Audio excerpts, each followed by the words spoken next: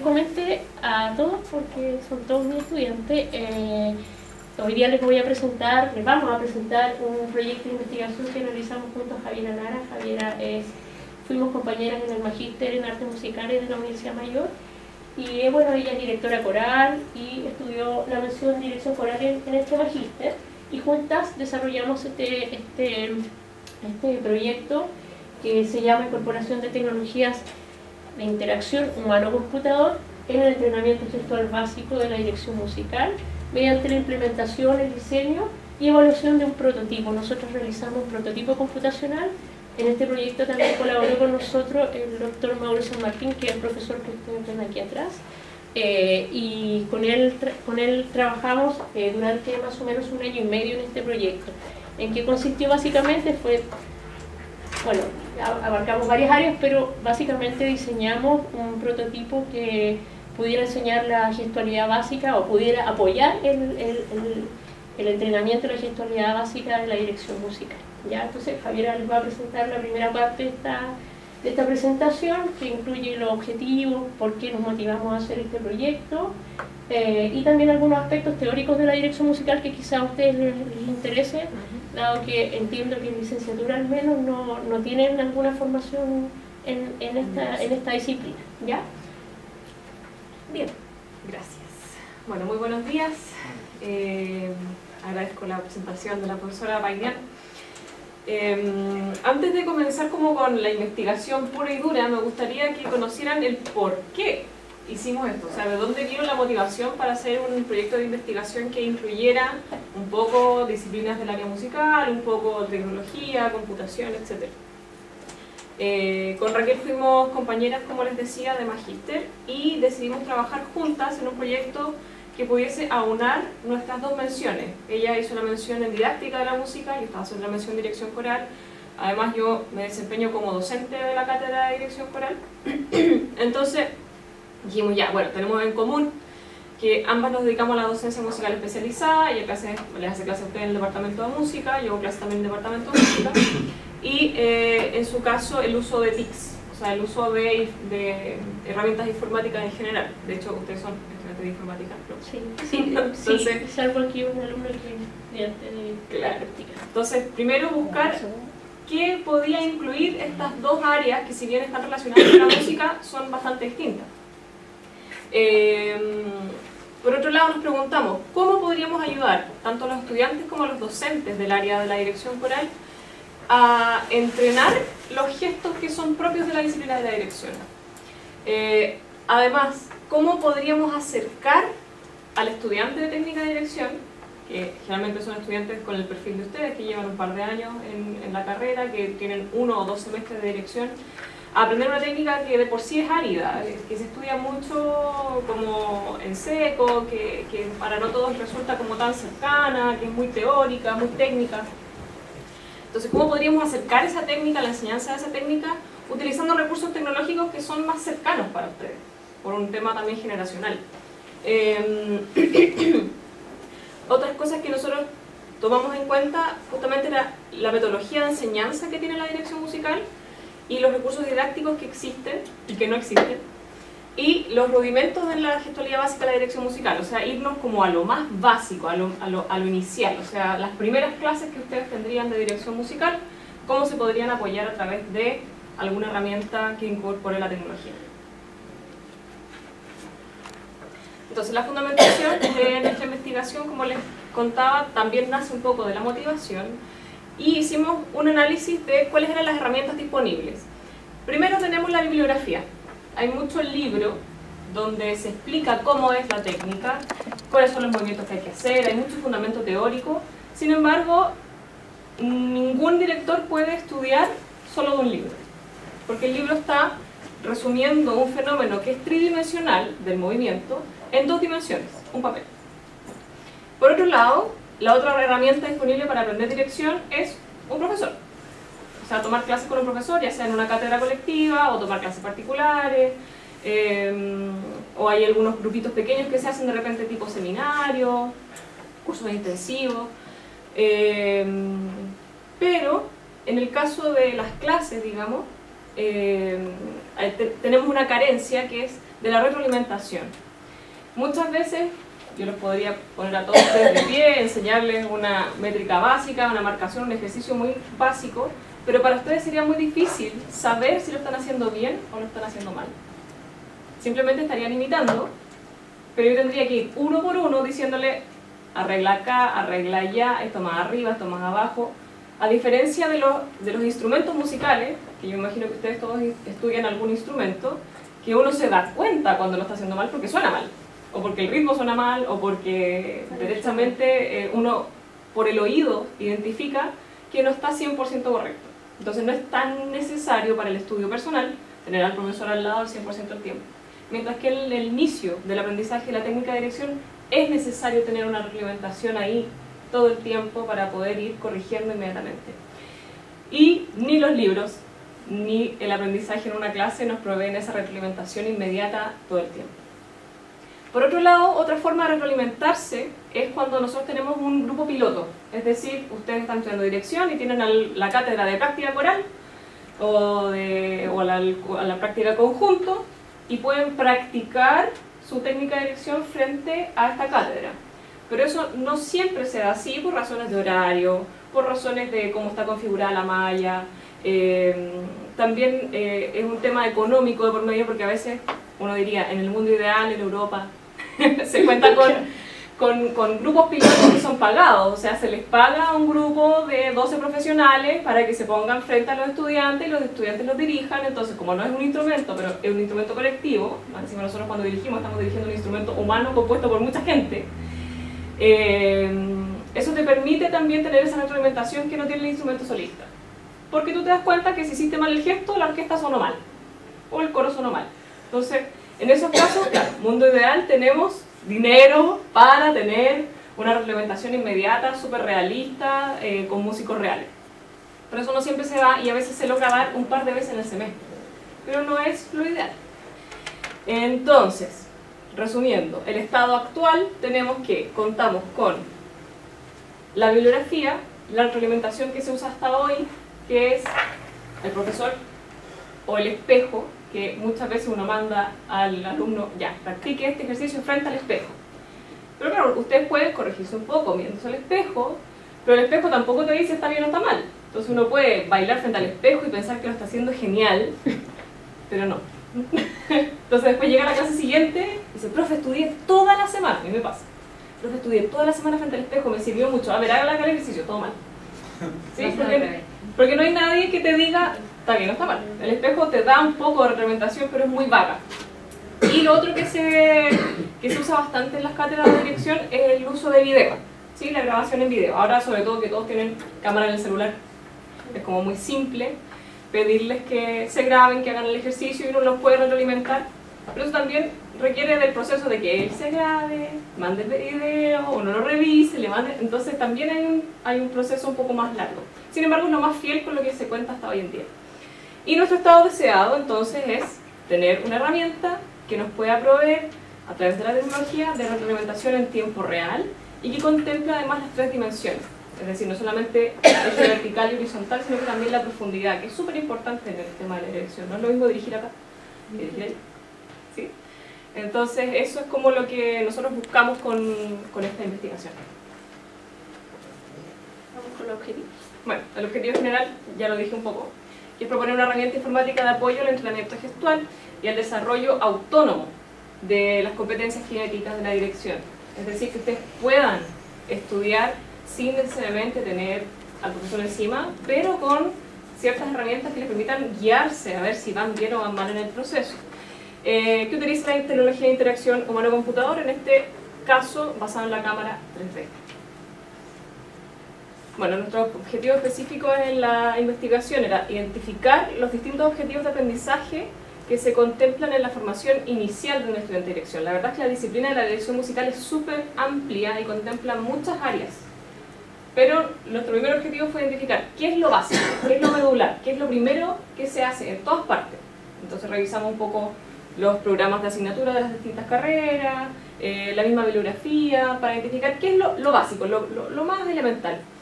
Diseñar conceptualmente y especificar una herramienta, un prototipo piloto, eh, que facilite o apoye el aprendizaje y entrenamiento técnico gestual. Que justamente eso fue como la parte más, profunda de nuestra investigación, o sea, cómo diseñar esto para que efectivamente logre ayudar en estos eh, objetivos de aprendizaje. Evaluar a través de la opinión de expertos el prototipo, nosotros pedimos a un grupo de directores, profesores de dirección y estudiantes de música de un nivel ya más avanzado que evaluaran el prototipo a ver si consideraban que efectivamente podía ayudar al objetivo que nosotros nos habíamos planteado inicialmente, porque una posibilidad también era que nos dijeran, no, sabes que en realidad esto no sirve para nada, me quedo con el espejo, me quedo con la grabación. Entonces eh, hicimos una prueba a un grupo bastante numeroso y, y a partir de eso también obtuvimos una impresión ampliada de los expertos en torno a la experiencia de utilización.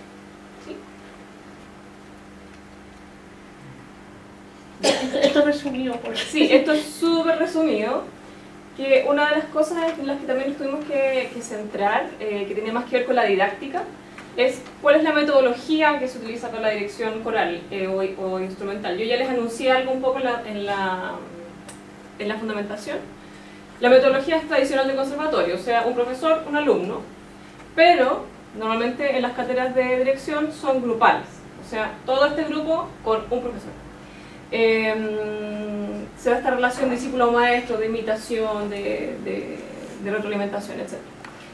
En las técnicas de dirección nosotros podemos identificar distintas escuelas, subescuelas, según si es dirección de coro, dirección de orquesta, dirección de banda, y además se identifican escuelas que se derivan como de los grandes maestros de la dirección. La técnica de la dirección es bastante nueva, no, no, no, existe antes del siglo XIX como tal, em, la que se estudia hoy en día. Sin embargo, hay varios maestros que fueron los que iniciaron y que, teorizaron al respecto y nosotros identificamos alguna escuela americana, escuela alemana, escuela japonesa y escuela inglesa. En, nuestra investigación nos centramos en la escuela inglesa de em, Brock McIlhearn, que es uno de los libros más ordenados que hay respecto a la técnica de dirección. Y bueno, lo otro ya se lo mencioné un poco respecto a los distintos contextos de clases individuales o así. Bien, ahora vamos a hablar un poquito perdón, del prototipo. Ya, eh, como Javier ya les comentó, eh, nosotros trabajamos una herramienta informática eh, que incluye un tipo de tecnología llamada interacción humano-computador, que básicamente son las máquinas que se comunican con, con las personas, como puede ser el mouse, un teclado, en este caso usamos un dispositivo que probablemente ustedes ubican, lo conocen el, el Kinect, ¿cierto? ¿O no? Este, este dispositivo está acá, eh, de Microsoft, que es una cámara de profundidad que en este caso reconoce el esqueleto humano. Eh, lo usamos para, para, como la herramienta principal, junto con el desarrollo de un software que ahí nos apoyó Mauro, eh, que se realizó en el lenguaje Processing. Bueno, la idea de este prototipo entonces es que eh, fuera un recurso didáctico de apoyo a las clases de dirección, que tuviera ejercicios, eh, que proveyera retroalimentación en tiempo real, que fuera fácil de usar eh, y que se pueda aplicar en dos situaciones. Una en, como apoyo al docente en aula, es decir, al profesor de dirección, cuando está trabajando con 30 alumnos, como fue el, caso de hecho en el mismo magíster nosotros cursamos dos cursos de dirección en el que éramos 30, una corte de 30 personas y un profesor para 30 personas. Lo mismo pasa en pregrado, en dirección musical, en el caso de sus compañeros de pedagogía, tienen cursos más o menos de ese, de ese, tamaño.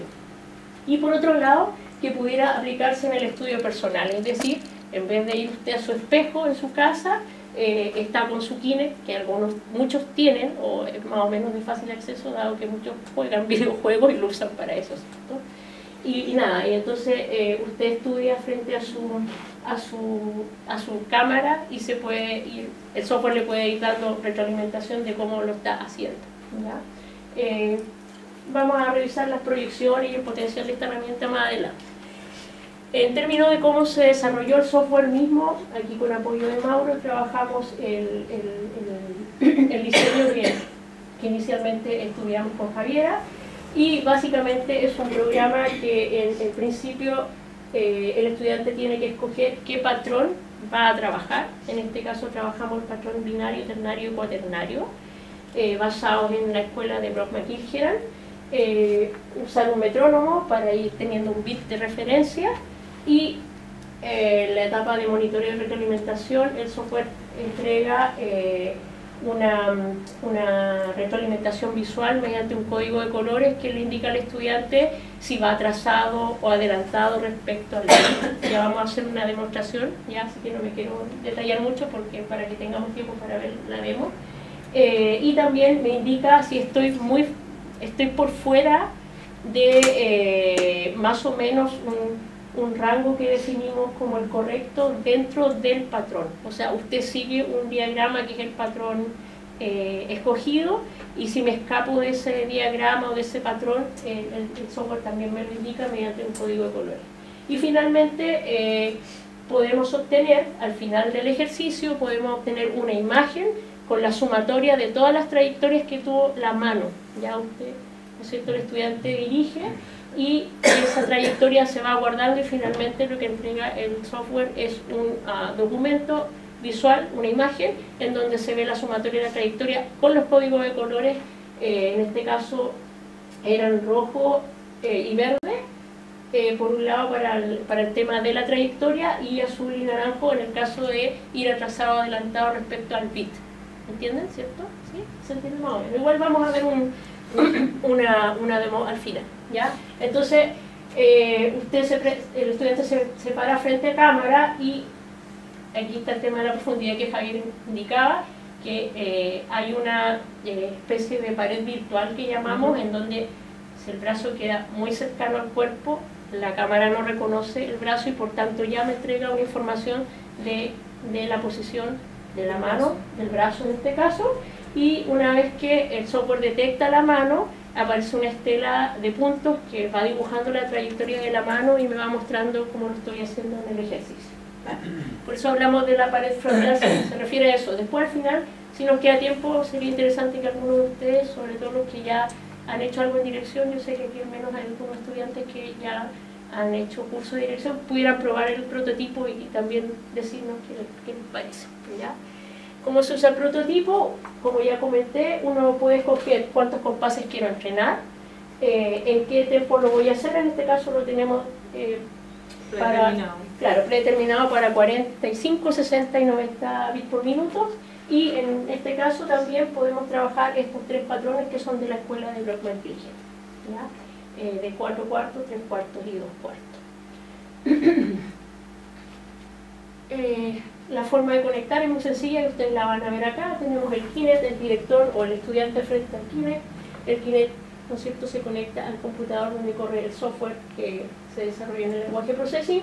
Y aquí más o menos vemos, en este caso, el patrón eh, ternario, eh, que es la trayectoria que usted tiene que, que el estudiante tiene que seguir. Aquí entonces se ve una imagen, que voy a pasar rápido por esto porque la verdad lo vamos a hacer en vivo teníamos de hecho un video pero también lo vamos a saltar, eh, que me indica, tengo líneas referenciales para... El plano de dirección. Tú mejor porque tú eres la profe de dirección. Bueno, las, las, líneas referenciales tenemos líneas verticales y líneas horizontales. La línea horizontal que está al medio es justamente para eh, situar el eje del cuerpo, ahí es donde uno tiene que centrarse. Una de las primeras cosas que cuesta mucho enseñar es que se paren derechos. Entonces con esta línea al medio como que no hay mucha opción. Hay que pararse justo al medio de la línea, que corra por la línea de la nariz y estar derechito. Las otras líneas eh, verticales son para definir el máximo de extensión de los brazos hacia los lados. Y las líneas verdes eh, eh, verticales son para situar más o menos los hombros, al, al ancho de los hombros de cada director. ¿sí? Y las líneas horizontales, una es la línea de ictus, que nosotros le llamamos la barra de apoyo o la línea de dirección, que es donde caen los pulsos. Y la línea más abajo es más o menos la altura de la cadera. Entonces eso nos permite situarnos todos en una ubicación más o menos uniforme frente a la cámara y tener las referencias de dónde se realizan los movimientos específicamente. Ya, aquí vemos al profesor Francisco Espinosa eh, probando nuestro prototipo, que es el profesor actual de la Cátedra de Dirección en Pedagogía en Música y como Javiera comentó, lo probamos con varios directores, varios estudiantes y profesores de, la de varias universidades. Ahí vamos a comentar al final. Voy a saltar el video y aquí les muestra entonces, esta es la imagen que muestra con que, que, uno puede obtener de cómo estuvo la performance personal de cada uno, ¿cierto? Eh, con los códigos de colores, aquí están los puntos de ictus en el caso del patrón ternario eh, y me, me, me, permite entonces visualizar cómo lo, cómo lo hice, cómo, hice, cómo, cómo estuvo mi ejercicio. Esto, por ejemplo, es súper útil para la evaluación desde, desde el punto de vista del profesor y también para la autoevaluación. Porque, por ejemplo, si yo veo aquí que hay mucha zona roja, esto me está indicando que esta zona del patrón no está correctamente ejecutada.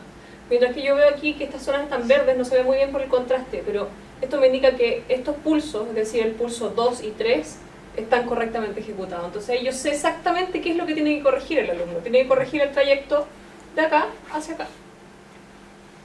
Bien, eh, bueno, eso es más o menos el prototipo. Vamos a comentar un poquito cómo estuvieron la evaluación y los resultados de, de la prueba de este prototipo. Se entiende que es un prototipo, algo que estamos recién probando, testeando, para poder un poco mejorarlo y desarrollarlo completamente. ¿ya? Eh, eh, este prototipo fue probado por estudiantes de licenciatura en música. ¿Pero de qué universidad? De la UCE. De la claro, Universidad Metropolitana de Ciencia de la Educación, de la Universidad, de la Mayor. Universidad Mayor, de la Universidad Alberto Hurtado. De la Universidad Alberto Hurtado. Exactamente. También profesores de la Universidad de La Serena, de la Universidad Mayor, de la Universidad Alberto Hurtado y de, la, Universidad Metropolitana de Ciencias de la Educación. Y de la, y de la Chile también. Y de la Universidad de Chile. Y además algunos directores. Por ejemplo, estuvo Alejandro Reyes. Alejandro Reyes, sí. De la Católica. Ya, todo ellos, todo ese grupo probó este prototipo eh, durante un par de meses del año pasado y obtuvimos algunos resultados en base a una encuesta que, hicimos y una entrevista eh, en profundidad. Javier, ¿vas a comentar los resultados? Ya. Bueno, primero hicimos un cuestionario que era fijo acerca de aspectos súper específicos del prototipo.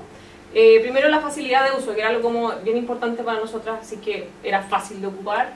Y en general el prototipo resultó fácil y lo único que quizás tuvo un poquito de dificultad para algunas personas, pero que son mínimos, ustedes ven los colores ahí, los rojitos son los únicos que, que que no, a algunas personas les costó situarse bien frente a las líneas de referencia, pero la mayoría lo encontró muy fácil.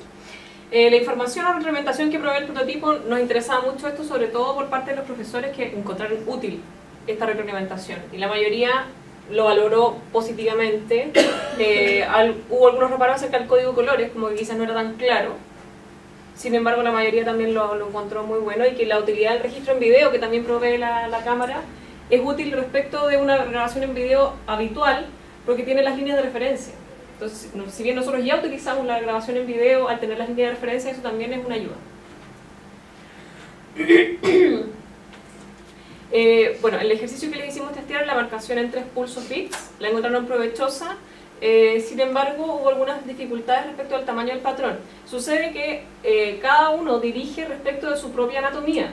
No es lo mismo un director que mide 2 metros que una directora como yo que mide 1,60 metro eh, tampoco es lo mismo una estructura ósea muy ancha con brazos cortos, una estructura ósea muy delgada con brazos largos. Todo eso va a depender y va a variar un poquito en cuanto a la técnica que se aplica. Y eso es algo que se nos señaló de que quizás el tamaño del patrón, el tamaño de las líneas referenciales podían adaptarse un poco mejor. Cuando teníamos un director estándar, todo perfecto. Pero cuando se salían como del estándar, ahí uh, había que adaptar un poco las cosas. Eh, bueno, la marcación con uso de metrónomo también fue muy útil, de hecho súper necesario escuchar el beat, recién estábamos probando y fue como, necesito el beat. Eh, los ejercicios con otros patrones de marcación, bueno, eh, también se deseaba el cuatro, el cuatro pulsos, dos pulsos y algunos también sugirieron incluir ejercicios de 5, 6 y 7 pulsos, ya con pases mixtos, con pases compuestos, etc. Ya, esto es súper interesante, la aplicabilidad en situación de estudio personal. Eh, la evaluación fue muy positiva en cuanto a que permite la retroalimentación que les estábamos comentando, ver la trayectoria de la mano, la retroalimentación en tiempo real. Sin embargo, eh, el 75% de los encuestados, tanto estudiantes como profesores, consideraron que esto no reemplaza la guía de un profesor. O sea, puede ser un apoyo, pero jamás va a reemplazar la, guía porque en realidad uno está ahí y ve todos los detalles y lo ve por el lado derecho, por el lado izquierdo y entonces es como mucho más detallado siempre tener al profesor ahí corrigiendo. Y en cuanto a la aplicabilidad en situación de aula, la mayoría como que deseaba, por favor, necesito esto en mi sala. Eh, sin embargo, no siempre eh, se podría contar como con los requerimientos técnicos en la sala. Ustedes saben que en general o sea, ustedes aquí están en la gloria. En esta sala. En esta sala, sí. Pero en general en las facultades de música hay mucha precariedad, entonces no siempre se puede contar como con una pantalla de este porte, con una Kinect, como por parte de inversión de la misma institución. Entonces eso fue algo que se mencionó como un punto en contra. claro. Y brevemente, el, el análisis cualitativo de la investigación, cuando nosotros hicimos una entrevista en profundidad, después de que pasamos la encuesta, fue como, bueno, danos tu opinión, qué opinas, qué sentiste, surgieron todo tipo de comentarios. Los eh, agrupamos en distintas categorías, por ejemplo, la motivación o la cercanía. Eh, muchos profesores consideraron que esto podía ser súper cercano para los estudiantes, por ser algo más tecnológico. También hubo hartos estudiantes que dijeron, me había encantado tener algo así cuando yo estudié. Eh, también se destacó mucho la objetividad y confiabilidad de la retroalimentación que provee el prototipo. Es decir, esto es objetivo, me permite saber de verdad en qué me equivoqué y, y permite también que la relación entre el, profesor que evalúa y el estudiante que es evaluado sea más confiable, porque muchas veces uno dice, no, pero es que el profe me tiene mala y por eso me puso mala nota. No, aquí sale un dibujo donde sale todo rojo y todo verde lo que está bueno, entonces como que no hay forma de discutirlo. En general en música la evaluación es bastante subjetiva, porque estamos hablando de disciplinas artísticas. Sin embargo, se trata un poco de objetivizar una disciplina que es técnica y que es como el test psicotécnico para aprender a manejar. O sea, ¿pasaste por la rayita o no pasaste por la rayita? No hay más que discutir. ¿Sí? Eso. Bien, eh, yo voy a comentar un poco respecto, agrupando un poco las, respuestas de nuestros eh, usuarios, de quienes probaron este prototipo. Eh, qué cosas alcanzamos en esta primera etapa de este trabajo y qué cosas podríamos mejorar, ya sea en este mismo prototipo o de plano diseñando un nuevo prototipo que pudiera incluir eh, mejoras sustanciales respecto a lo que nosotros hicimos. ¿ya? Primero los logros. Eh, efectivamente entrega una retroalimentación visual en tiempo real, en el momento que, que el estudiante está haciendo su ejercicio, practicando, ¿cierto? Voy viendo en qué me estoy equivocando y puedo ir corrigiendo en el momento, además de la entrega que me da la información visual mediante la, la, sumatoria de trayectorias, ¿ya? Registra los resultados en un conjunto de trayectorias de la mano, que lo puedo obtener como una imagen, y además podría, aparte de eso, obtener el video, que Javier lo dijo, se puede ocupando lo, tradicional, siento que es tener un video de cómo lo hicimos, pero con las líneas referenciales que es muy importante para poder evaluar a posteriori. ¿ya? Eh, además usa una tecnología que es bastante conocida por los estudiantes, sobre todo los estudiantes de la generación de ustedes, gente más joven que eh, ha usado este tipo de tecnología típicamente para jugar. ¿ya? Eh, es, por tanto resulta motivante, cercano, algo que y además entusiasma mucho a nosotros fue una de las cosas que, encontramos. O sea, la gente se entusiasmaba mucho porque sentía un poco que estaba jugando, pero finalmente usted está aprendiendo. Entonces, muy, muy, muy bueno en ese sentido. Eh, Javier ya lo comentó, los resultados son objetivos, ya un tema muy complejo y delicado. en el momento de evaluar este tipo de disciplina. Ustedes lo saben porque son estudiantes de música y saben cómo es la evaluación y si pues a veces aparece esta este como nebulosa de la evaluación objetiva, aquí tenemos una herramienta que puede entregarle al profesor y al estudiante eh, esta posibilidad y por tanto puede contribuir a mejorar la evaluación de una asignatura en dirección musical. Eh, otra, otro logro interesante es que se puede usar en aula como apoyo al profesor, porque ya vimos que no reemplazaba la guía del profesor, se, se, se, plantea esto como una herramienta didáctica en, en esta, este tipo de asignatura. Y también si uno como estudiante tiene la posibilidad de acceder a esta tecnología, puedo practicar en mi casa en vez de reemplazando el espejo. Eh, y Finalmente, comentar que es una tecnología que no, no, no es de un gran costo económico, no sé, Mauro, ¿cuánto cuesta? Bueno, Kinect parece que ahora ya, no sé si va a seguir, se va a continuar o no, pero sí, salió una nueva versión. Claro, ahora el, el Kinect como accesorio de la consola se descontinuó. Ya. Pero existen nuevas versiones, se supone que va a haber un... Salió un Kinect para la siguiente versión de la consola, la de Xbox One, Kinect 2 y se supone que va a haber una nueva versión ahora ya desvinculada a la consola, solamente para eso. O sea, yo podría comprarme solo el Kinect.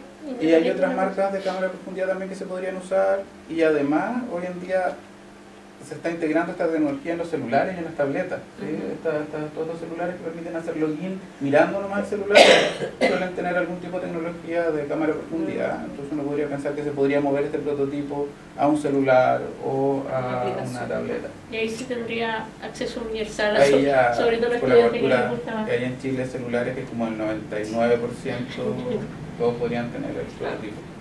Bien, eso respecto a lo que ya logramos con este prototipo. Ahora, ¿qué cosas podríamos mejorar? Hay algunas mejoras y la verdad es que eh, haber evaluado este prototipo con diversos eh, tipos de entre estudiantes, sujetos, sí. directores, o sea, gente que tenía mucha experiencia en dirección, estudiantes que ya habían pasado el curso de dirección y gente que tenía más o menos experiencia, fue súper bueno porque recibimos de verdad un montón de sugerencias e ideas para mejorar que ni a nosotras se nos había ocurrido.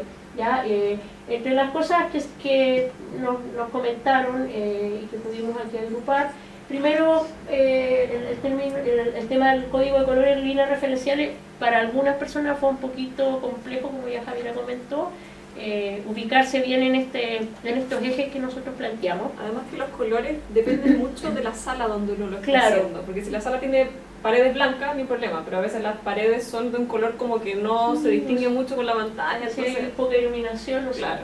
Eh, también por ahí alguien nos, nos criticó el clic del metrónomo, que lo, lo- todavía lo mantenemos, así que ustedes lo van a escuchar como está originalmente. Eh, después vamos a comentar por qué cuando veamos el demo.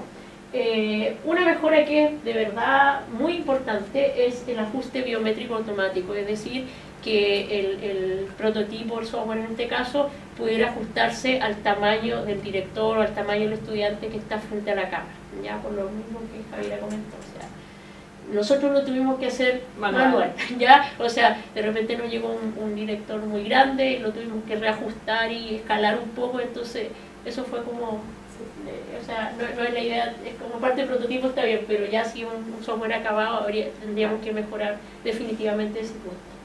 Eh, algo interesante que también surgió es la posibilidad de reconocer el gesto propio del director o del estudiante, dado que aquí estamos basándonos en un patrón fijo, que es la escuela de Brockman Kirchner, pero la verdad es que hay directores, y de esto Javiera sabe mucho más que yo, eh, hay directores que tienen su propio gesto, su propia gestoría, y podríamos pensar en un sistema que aprenda de la misma persona que lo está usando. Esto es un poco como reconocer la caligrafía de una persona. A nosotros cuando estamos en primero básico nos enseñan a escribir, obviamente nos enseñan una caligrafía y todos escribimos igual. Eso es lo que uno hace en una primera etapa de enseñar los patrones de dirección, uno enseña la caligrafía. Pero después cuando tú sigues escribiendo, empiezas a desarrollar tu propia letra eh, y cada uno tiene una tipografía que es única. Entonces la idea de esto sería como que el, el prototipo también pudiese reconocer, ah ya, esta es la letra de este director.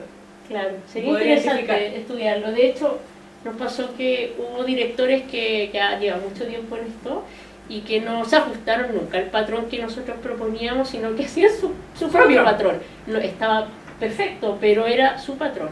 Entonces nos dimos cuenta que podría ser una, o sea, podríamos proponer una mejora que, que vaya en, en esta búsqueda de, por ejemplo, cono- reconocer la escuela chilena de dirección, así como existe la alemana, la inglesa, la japonesa, podríamos a lo mejor pensar que aquí en Chile hay una escuela de dirección que es propia de nuestra. Eh, agregar, no solamente usar el patrón de la escuela de Brown agregar las otras escuelas de Otras dirección con otros patrones principales. Eh, para que el estudiante pueda conocer las diferentes escuelas de dirección y decir que yo quiero, en claro, yo quiero eh, estudiar, ahora quiero practicar según la escuela alemana o quiero practicar según la escuela Japonesa. japonesa. Ya, los patrones cambian un poquito. Yo sé que mi, mi estudiante de licenciatura no tienen dirección como tal, pero por ahí hay algunos que han tomado cursos eh, y que saben un poco más de esta disciplina, Es ¿cierto? cosa de ver de repente a los directores. Uno ve un director y que dirige una forma, ve otro director y dirige de otra forma totalmente distinta, sin embargo los dos les funcionan. Exactamente, así es. Eh, agregar otros niveles de dificultad, que eso sí en, en el prototipo actual lo podríamos, una gran parte de las de las de las niveles que nos proponen o que nos propusieron nuestros estudiantes, profesores y directores, podríamos agregar, por ejemplo, telemetría o pasajes musicales preestablecidos, eso se podría hacer así como está el software actualmente. Hay otras cosas que como el software es, eh, ahí quizás Mauro pueda comentar un poco más de eso, eh, hay algunas de estas mejoras que no, que no sería posible de hacer en esta en este prototipo, sino que tendríamos que ya cambiar nuestro lenguaje de programación. Eh, ah, no, sí, ¿cómo hablo? Sí. Eh, otra mejora, porque en este caso, en este momento, nuestra, nuestro prototipo solamente es para, manejar, para trabajar un solo brazo. Sería a- El brazo aumentarlo al, a los dos brazos, o sea, hacer dirección espejo con las dos manos. Eh, hacer un ajuste que aquí también nos pasó algo que no pensamos. Un Y- chascarro así. Fue un chascarro, un chascarro. O sea, eh, que lo pensamos siempre para la mano derecha. Y, y nos llegó al señor Alejandro Reyes, director conocido, que es zurdo. Ya, entonces, puta, nos dimos cuenta, debimos haberlo pensado para dos Claro, por suerte él, él- es un director súper experimentado, profesor, maestro de maestros, entonces fue como ya está bien, voy a, Voy a la la solo para ustedes. Y lo hizo. Y Y lo hizo, y lo hizo impecable, Lo hizo pero, impecable. pero claro, fue como, bueno, ¿qué pasa con los directores zurdos? Ujú. Am, otra mejora eh, que podríamos agregar a nuestro prototipo, a nuestro software en este caso, sería agregar otro elemento de la dirección, no solamente el patrón, sino que por ejemplo la dinámica, eh, cortes, eh. Entradas, cortes, Entradas, dinámica, fraseo, Eh, reconoci- reconocimiento de, de gestos faciales también, que uno dirige mucho con la cara, mucho, y ahora se puede hacer. y se puede hacer. Ya, y bueno, finalmente, como ya comentó Mauro igual, eh, agregar otro, o sea, a- ampliar esto a otro tipo de dispositivos como la tableta, el celular, y en caso de no contar con el Kinect también ya hay algunas alternativas para, para esta cámara eh, que también hace reconocimiento de profundidad. Y Bien, eh, comentar una, una ah, sí. cosa que en términos de, de ingeniería de software, este prototipo es un prototipo de prueba de concepto. Claro, ¿sí? como Porque producto mínimo viable. producto mínimo viable, ¿sí? Porque pasa que a veces uno tiene la intuición de que cierto software es útil, pero no tiene la certeza. Entonces si uno se pone a desarrollar el software definitivo que tuviera todas estas características, a uno le puede pasar que nadie lo quiere usar luego. Entonces la idea de este prototipo era validar la idea, y en eso es exitoso porque claramente la idea es de interés, tiene utilidad, y entonces está la oportunidad ahora de agregar todos estos elementos. algunos son fáciles de agregar, digamos, programar un rato más, eh, y otros, claro, bajo requerirían más tecnología u otras cosas. Gracias, Mauro. Eh, vamos a, a comentar los- cuáles son las conclusiones que ya más o menos Ya se vislumbran ya un poco. se evidencian. Bueno, la investigación logra proponer una herramienta que apoya el entrenamiento gestual, lo que acaba de mencionar el profesor. O sea, efectivamente la herramienta es útil para lo que pretende. Es factible incorporar la tecnología HCI en una herramienta de apoyo para el aprendizaje y la dirección. Esa es una de nuestras grandes preguntas. O sea, ¿de verdad podemos unir la tecnología de interacción humano-computador con la disciplina de dirección musical? ¿Funcionará? Y sí. El prototipo entrega una reglamentación en tiempo real, además de un registro de datos. Aquí hay un concepto que está entre comillas y entre paréntesis, que es como a lo que llegamos después de, de toda la investigación, de que finalmente este prototipo es como una especie de espejo aumentado. Es decir, tú te ves como en el espejo, sin embargo el espejo sí te dice cosas, sí te habla, sí te dice, oye, las manos están muy abajo, oye, las manos están muy arriba, te estás saliendo del patrón, estás parado chueco, estás parado muy a la izquierda, muy a la derecha, te estás balanceando, porque todo eso tiene un- un- una reglamentación en el momento, con un código color, etc. Eh, la retroalimentación ayuda en el proceso de automatización de los movimientos. Esto viene ya desde teoría mucho más lejana de nuestras disciplinas, tiene que ver con cómo los seres humanos aprendemos movimientos. Y esto desde que nacemos hasta el que nos morimos. O sea, por ejemplo, cuando uno aprende a, a tocar un instrumento, o cuando uno aprende a jugar un, un, no sé, tenis, eh, la retroalimentación visual es muy importante en ese proceso, muy importante porque a través de la retroalimentación visual el cerebro va haciendo los ajustes para lograr llegar a ese movimiento perfecto. Eh, y los eh, movimientos primero son conscientes y luego de un proceso largo se transforman en automáticos y el director tiene que contar con esto automático porque el director en realidad no se puede estar preocupando de marcar los patrones el director está preocupado de dirigir, de guiar la música de dar indicaciones particulares, de dar indicaciones de expresión. Entonces, estos movimientos, ¿por qué son los más básicos? Hay que recordar que esto está pensado para la etapa más básica de la técnica de dirección. Es porque estos movimientos el director los tiene que automatizar y no los tiene que pensar nunca más. Porque tiene que tener su atención libre para hacer muchas otras cosas, no para estar pendiente del patrón. ¿sí? Entonces, esto ayuda en ese proceso de automatización y que ese proceso sea mucho más rápido. Eh, bueno, a partir, de, sí, a partir del marco teórico se identifican los aprendizajes y además valoramos la importancia del, del código gestual de la, de la dirección, lo complejo que es. Y si bien existen investigaciones que utilizan las nuevas tecnologías para estudiar la gestualidad, no hay o muy pocas eh, están enfocadas en la enseñanza de dirección. Está lleno de prototipos que son como para jugar un poco, modificar las, las piezas y uno mueve la manito, va más rápido, va más lento, pero no existen prototipos o software que estén enfocados en enseñar a dirigir. Entonces eso también es un, es un aporte que, que tiene nuestra investigación. Sí, sí, hay algunos videojuegos, yo comentaba el otro día con un estudiante que nos invité acá, eh, hay algunos videojuegos que es para jugar a dirigir, pero Sí. no te enseñan nada porque... No, o sea, tú puedes hacer para arriba para abajo claro. y va a funcionar igual. O sea, no- Exactamente, pero no te enseñan la técnica, la gestualidad básica, ni nada de eso. Bien, eh, hemos llegado al final eh, con una conclusión ya más general, ¿cierto? Eh, y dice que esta propuesta es una verdadera innovación desde el punto de vista de la metodología de la enseñanza y el aprendizaje, dado que hasta ahora, y por lo que nosotros logramos investigar, en las clases de dirección o cátedra de dirección, eh, la enseñanza es, como ya Javiera comentó, mediante un profesor frente a un, muy tradicional. un grupo muy importante, o en la enseñanza uno a uno, que también eh, es muy, muy tradicional de escuela de conservatorio. Por tanto, aquí tenemos una, una innovación a la metodología de enseñanza y, y en el caso, y en este caso particular sería el uso de un recurso didáctico para la disciplina. ¿ya? Eh, también es una innovación desde el área de las nuevas tecnologías, dado que esta investigación con- constituyó en este caso un avance para el conocimiento y el estudio de la dirección musical, dado que tuvimos que estudiar muchos aspectos teóricos de la disciplina, Y sistematizarlo, porque hay muchas escuelas muy distintas. Exactamente. ¿ya?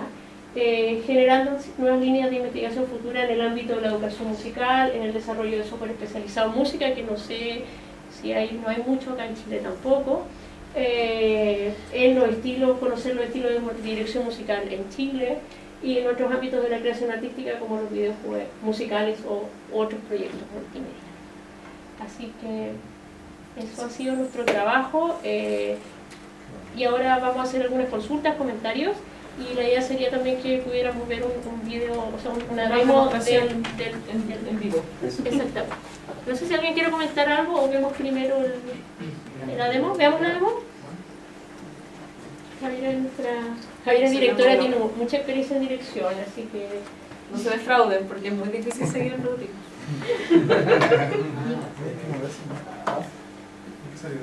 No, veamos, veamos cómo... No, no, no va a molestar. Y ahí, ahí la- primero... Entonces, de la aquí está la línea del medio. Entonces yo aquí me pongo al medio. Fíjense que las líneas verdes van con mis hombros. ¿sí? Y las líneas amarillas de afuera es lo máximo que yo voy a abrir mis brazos. Entonces, en esta área, que está aquí, es donde se va a desarrollar el patrón. ¿sí? Si ustedes se fijan, el patrón está dibujado en azul, no sé si lo alcanzan a ver. Y hay unos puntitos acá, esos tres puntitos son los puntos de ictus, donde caen los pulsos. Pulso 1 está acá, pulso 2 está acá y pulso 3. ¿Sí? Entonces, ah, claro, ahora está el beat andando, eh, pero cuando empieza el ejercicio hay una cuenta de compases al aire y yo busco que la estela reconozca mi mano. Si yo me voy muy atrás, deja de tomar la estela y empieza a tomar otras cosas. Si yo me acerco mucho y tengo la mano muy acá, empiezo a tomar partes de la ropa. Entonces, eso es lo que nosotros hablamos como pared frontal. Ponle... eh, sí. Yo tengo que entrar como una especie de caja virtual que está frente mío y que está a cierta distancia, lo que me obliga a tener el brazo en una posición correcta. ¿sí? Entonces tengo el brazo a una distancia de mi cuerpo para que no se confunda el, el, el Kinect y comienzo con la dirección. 1, 2, 3. Entonces se fijan, me voy a salir a propósito. Sí, eh, otra cosa que implementamos en el, en el prototipo rojo. es que, es que cuando eh, la persona lo está haciendo bien, el patrón desaparece. ¿Se Y cuando lo hace mal, vuelve a aparecer para guiar al estudiante nuevamente en, en la, en, el- en la Si yo trayectoria. me pongo a dirigir para acá, por ejemplo, Se ve todo rojo. se ve todo rojo.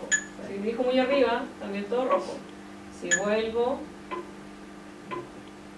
claro, empieza a mostrar azul y naranjo en algunas partes según la aceleración del movimiento y eso también es una información bien importante porque no siempre la aceleración va a ser eh, estable, a veces hay más aceleración, menos aceleración, según el patrón, según el carácter. Ya. ¿Un estudiante? Para, para mostrar el, eh, esto no solo en el momento, sino que igual Ah, sí, por la del registro. el registro... Ah, ya vamos a mostrar el resultado.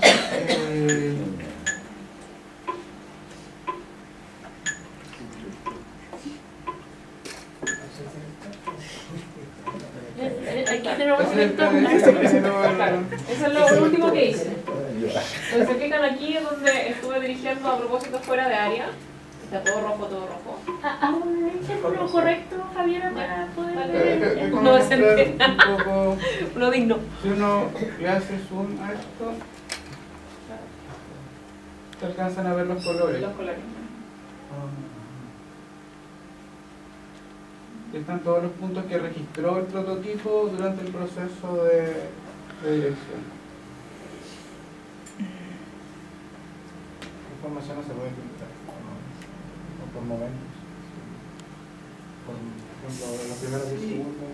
De, de hecho, yo soy partidario del Diógenes digital, así que eh, la aplicación guarda todo. De hecho, está el dibujo. Compás por compás, ¿no? Claro, pero también está eh, este archivo, que es un archivo en que registra todos los puntos, en qué momento se midió, si estaba dentro o fuera. Entonces uno puede, incluso podría hacer análisis retrospectivo para cortes de estudiantes o para estilo o para que aprenda el software acerca del gesto propio, por ejemplo. Tenemos todo registrado y definir los patrones en base a los gestos grabados.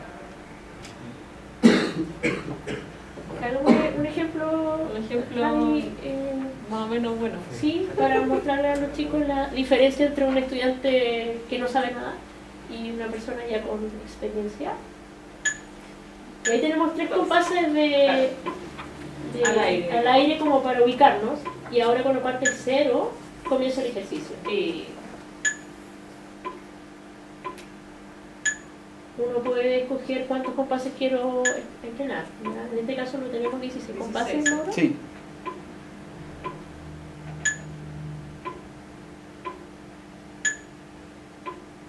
Y Entonces vamos viendo que desaparece la estela porque Javier lo está haciendo bien. ¿ya? Si ella se equivocara, eh, volvería a aparecer el, Patrón. el patrón de la trayectoria para que ella se vuelva a alinear al patrón de la trayectoria. ¿ya?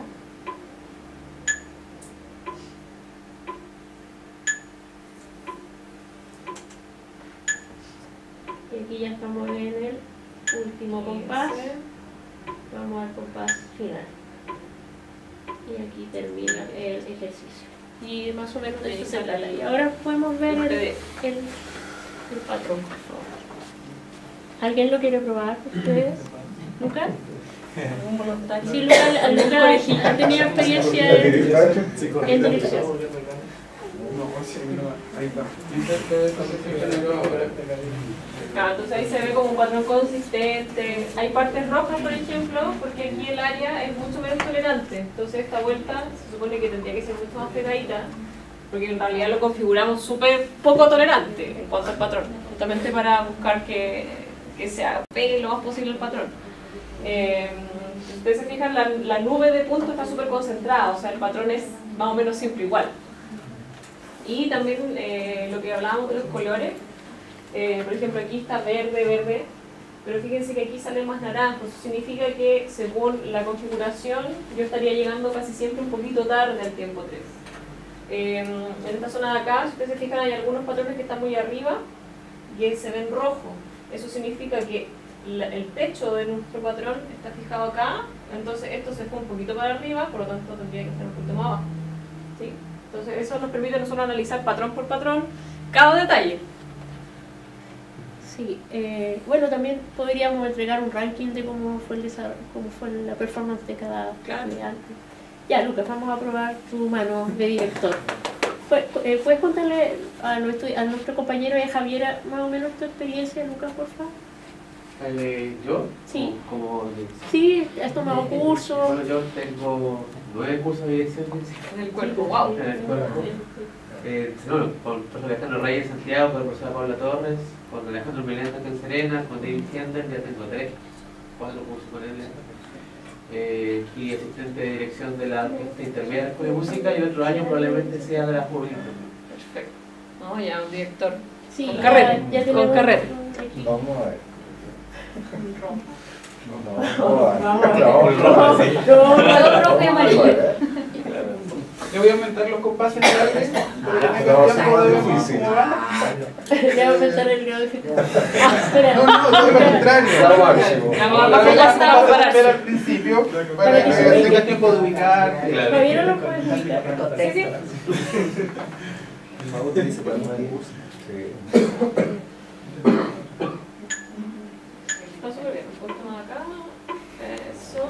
Entra tu mano para ver si se te reconoce.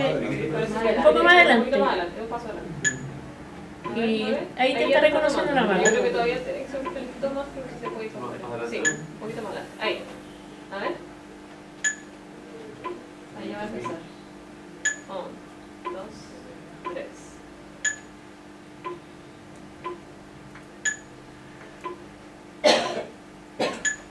Ahí aparece el patrón para guiarte.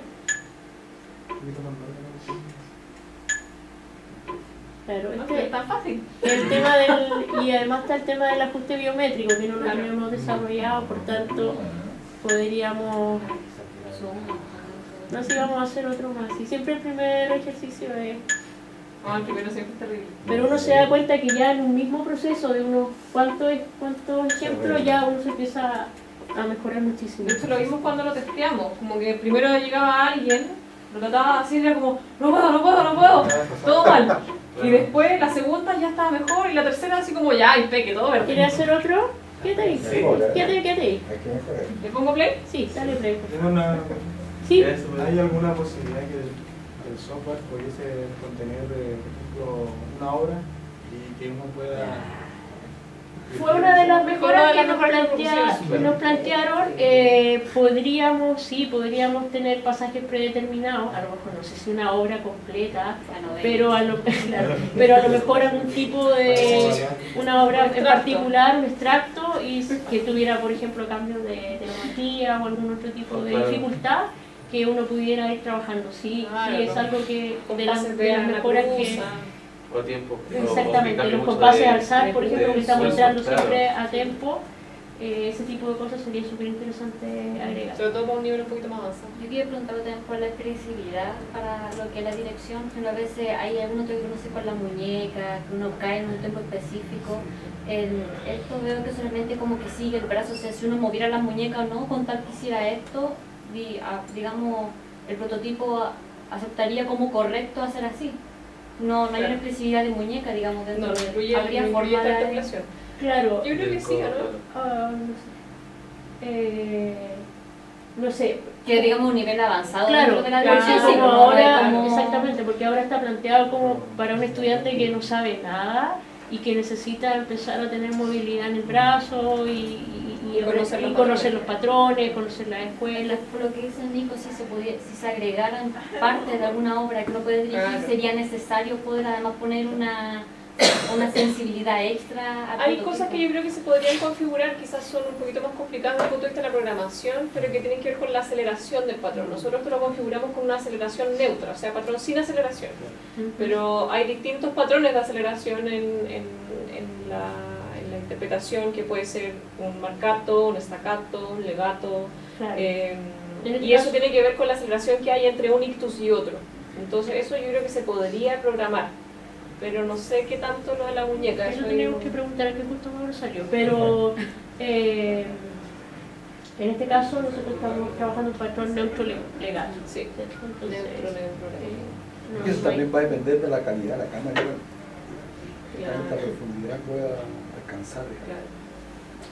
A ver, Ahora el, el prototipo se podría ejecutar para que la pudiera hacer una persona que es zurda.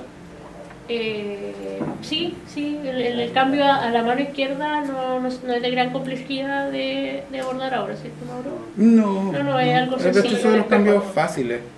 Mauro, que hay una pregunta que quizás tú nos puedas ayudar a responder, que es respecto a agregar un, La muñeca. como el, Porque en este momento como que no estamos considerando la articulación de la muñeca. Sí, se, se tomó una decisión basada en, en dos, eh, en dos razones, que es seguir la- el punto más cercano del cuerpo, no seguir la articulación, que igual se puede hacer. Eh, eso uno por la simplicidad del prototipo como prueba de concepto, pero eso también porque es mucho más fácil transportar eso a otros dispositivos de interacción con el computador que no sean el Kinect, porque no todos los dispositivos reconocen el esqueleto. El Sí. Kinect sí lo reconoce. El Kinect sí lo reconoce. Entonces, en el caso de seguir usando Kinect, por ejemplo, se podría rastrear el, el ángulo de la muñeca, por ejemplo, eh, pero eso haría que el prototipo funcionara solamente Solo con Kinect y fuera mucho más difícil transportarlo. Ya vamos a Algunos un ejemplo y un par de comentarios más y que Javier se tiene avión a las 11. sí. Te voy a dar prueba. Tiene que llegar a la prueba. A ver, vamos. Tiene tu brazo para ver si te está reconociendo. Y aquí están los compases de espera. 3, 2, 1 y el 0. Dos, Con un pulso. uno, el compás cero. El compás cero también es importante porque nos sirve para practicar el SARE. Entrar al SARE. Claro. Uno, dos, Ahí apareció el patrón para guiarte.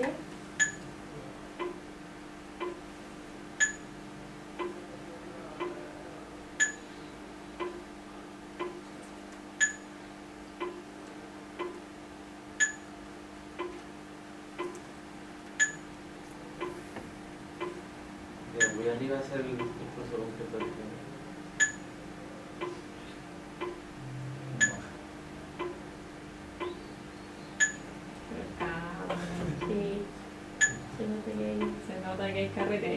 un poco. Mejor un poco. Fíjate que cuando vas hacia el tiempo 2, Ya. como que desaparece un poco la fecha. Eso pasa. No, bien, bien el, el estudiante. Eh, no sé si se dieron cuenta que cuando iba hacia el tiempo 2, o sea, hacía 1, 2, desaparecían un poquito los puntos. Es un error súper común en los directores, porque la mano, saben que tiene que ir siempre con la punta hacia adelante, Claro. como con- con- en conexión Ah. con esta pared imaginaria. Y Bueno. muchos directores hacen 1, 2, Claro. con la mano hacia allá. Entonces, ¿qué pasa? Deja de tomarla la cámara. ¿sí? Entonces, eso es algo súper fácil de corregir con la cámara porque es- derechamente no aparecen los puntos. Entonces, ¿qué pasa? Que la mano está apuntando para allá en vez de para allá. Claro. ¿sí? Entonces, es como un, un tip ahí. Un tic, un tic. Ya hay una conexión. Gracias, Luca. ¿Alguien más le- lo quiere probar, chicos? De... ¿Alguien quiere jugar? Pablo es grande, vamos a ver si. Vamos a ver si- ¿Ves, Pablo? Eh, no sé si lo vamos a tener que escalar, quizás sí vamos a tener que escalar. Van a tener que, a reconfigurar el prototipo. A bueno, Claro, en este caso, el compañero era como de Vidamaña, entonces Claro, le no, quedó en no, peque. no mucho. Pero ya va a tener que subir el plano, agarrar el padrón. Vamos a ver si. ya, este es un tema que claramente es mejor. Hay que, habría que Claro. mejorar que el La cambio lista de de ta- pendientes. el tamaño del director. Yo creo que así va a funcionar. Sí.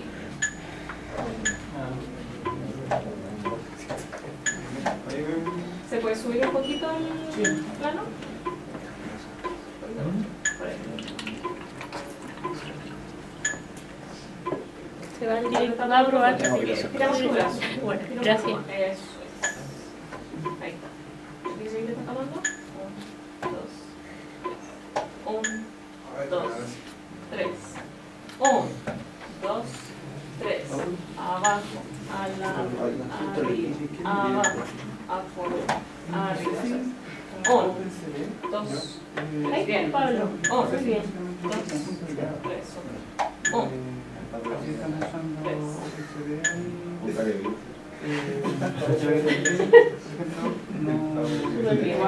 Súper Pablo. O sea, para ser el primero, y además que ustedes no tienen curso de dirección, ¿cierto? No, súper bien. Bueno, eso también nosotros lo notamos cuando hicimos en la prueba, como la brecha generacional. En general, los que eran estudiantes o que eran más jóvenes tenían mucho menos problemas en seguir el Adaptarse prototipo a la primera. Pero los profes que eran más mayores, así como, Ahí quedaste, Luca. Pero, el- resultado. Vamos a ver el resultado, Pablo, y gracias, muchas gracias. Ojalá que tenga esto verde. No, estuvo bien. No, estuvo bastante bien. Al principio como que iba desfasado después.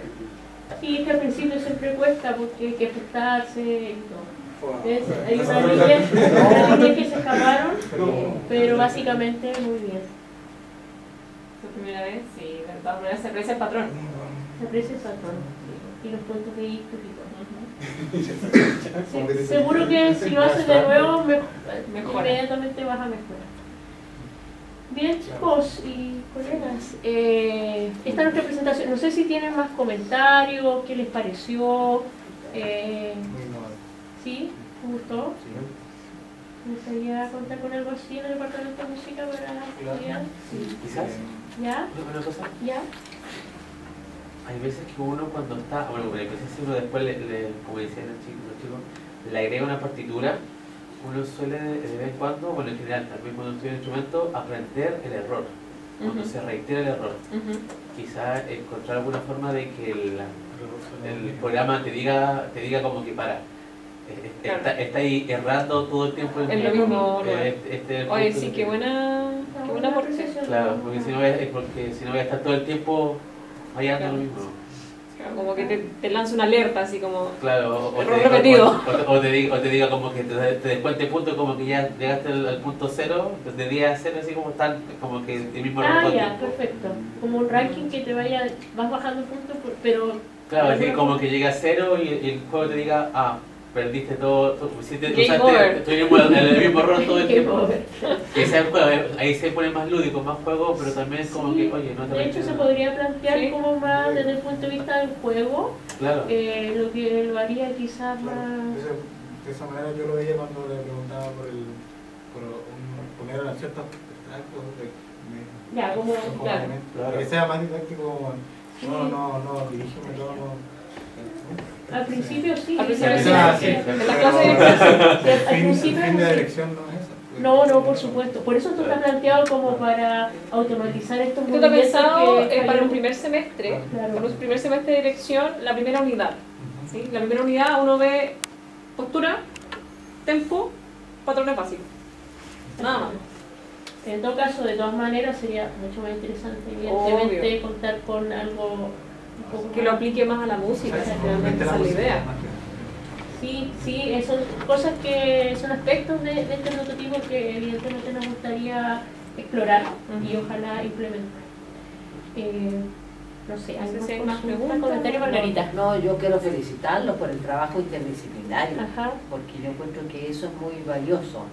Es un prototipo, claro, de aquí pueden surgir miles de otras ideas, pero lo valioso yo encuentro, que yo no soy del área de ustedes, Claro. eh, encuentro el trabajo interdisciplinario. Sí. Eso yo no encuentro, las felicito, Gracias. porque yo creo que la tecnología se puede aplicar ya hoy día a, A todo, a a todo. todo. Y yo quisiera preguntarles que en base a la experiencia que ustedes han tenido con el trabajo con el colega en el área de computación. ¿cierto?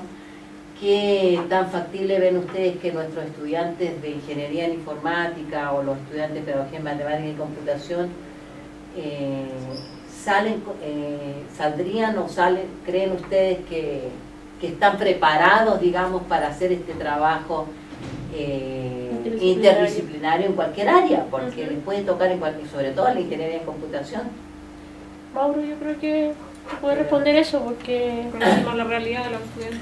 Sí, lo, lo que pasa es que en ingeniería en computación generalmente casi todo el trabajo es interdisciplinario porque uno está haciendo software, sobre todo en la, en la ingeniería de software, para otras personas que hacen otras cosas. Entonces, en, en general, se trabaja bastante eso como, como perfil de la carrera, digamos, poder eh, apropiarse de un lenguaje de otra especialidad para poder eh, desarrollar el software con más o menos éxito. Si todos tenemos experiencia con que se cayó el sistema cuando uno quiere hacer cosas, pero eh, tienen que creer que en general los software están haciendo su mejor su mejor esfuerzo. Ahora, la, la otra cosa que vale la pena yo creo que decir es que acá la universidad está justamente en un proceso de renovación curricular súper importante de todas las pedagogías.